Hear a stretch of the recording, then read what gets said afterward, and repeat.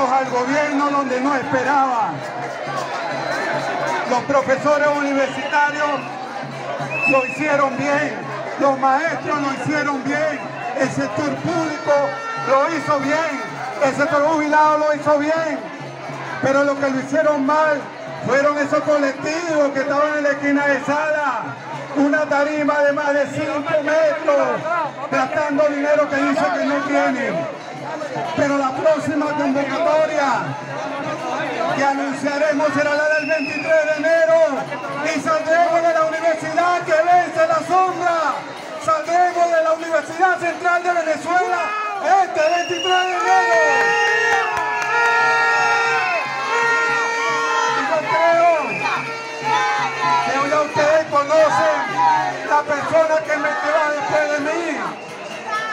Yo creo que no es necesario presentársela, pero la tengo aquí al lado. Bienvenida, profesora Elsa Castillo. Muchas gracias y muy buenos días. Profesora Elsa Castillo, por favor, no me empujen. Por favor, no me empujen. Voy a terminar. Bueno, yo le quiero decir al señor Nicolás Maduro que se equivocó de estrategia. No puede ser que el señor Nicolás Maduro piense que con un bono nos va a, a tranquilizar y nos va a meter a todos en nuestra casa. Maduro, mi conciencia no tiene precio y la conciencia de los trabajadores. ¿Usted quiere intervenir? yo no tengo problema, yo no ando peco.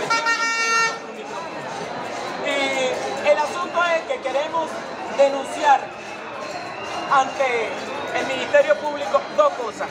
La primera, que algunos directores de, algunos, de algunas instituciones educativas están procediendo a encerrar con candado a sus docentes, lo cual equivale a un secuestro. Eso es sencillamente un delito.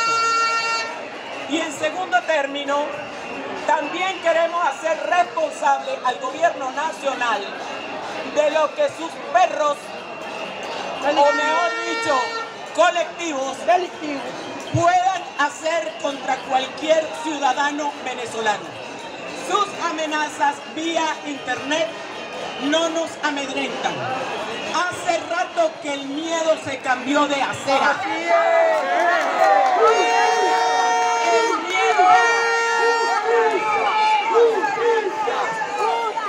El miedo ya no se encuentra en esta acera de lucha. Se encuentra en la acera de los opresores, en la acera de los que violan la ley. Y le pedimos, le hacemos un exhorto a la ONU para que envíe a sus funcionarios y verifiquen que efectivamente aquí el gobierno, como no nos puede reprimir por las vías tradicionales, le está dando play a sus tarifados para que hagan amenazas incluso a través de las redes sociales, como hicieron allá en Aragua y que amenazaron que esa iba a ser su conducta en todo el país. Que salga el señor Nicolás Maduro a resolver los problemas de la nación. Y mira Maduro, yo lo siento, yo no tengo la miedo colectivo. No hay miedo colectivo, no hay miedo. no, les tenemos miedo. Probablemente creías que tú estabas capacitado para eso, pero tienes que reconocer que el cargo te quedó inmensamente grande. Eso es como meter el Orinoco en un vaso de agua. Sencillamente no te queda. En mi pueblo dicen te metiste en camisa de once varas. Lamentándolo mucho. Y los asesores que tienes alrededor no cumplen con su papel de asesorarte, sino que las recomendaciones que te han dado, que es poner al pueblo venezolano a pasar hambre, son las peores. Los venezolanos te exigimos que nos des cuenta de cuánto coltán se ha explotado en Venezuela, en cuánto se ha vendido, a quién se lo ha vendido y dónde está ese dinero. Te exigimos que nos diga dónde está el oro de Venezuela. Te exigimos que nos diga dónde están los otros minerales de la tabla periódica y te lo vuelvo a repetir. Si no sabes lo que es la tabla periódica, pregúntale a alguien que haya estudiado y que esté alrededor tuyo. ¿Qué cosa es esa? No vayas a creer que es una tablita de madera, ¿oíste? Porque de tabla ustedes saben mucho porque tienen tabla, cara de tabla.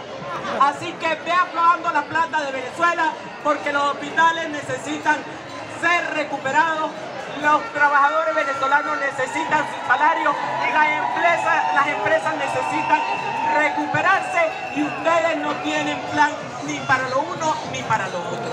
Solamente para obligarnos a seguir manteniendo el gobierno cubano.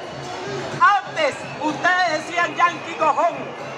Ahora yo digo ruso, cojón, iraní.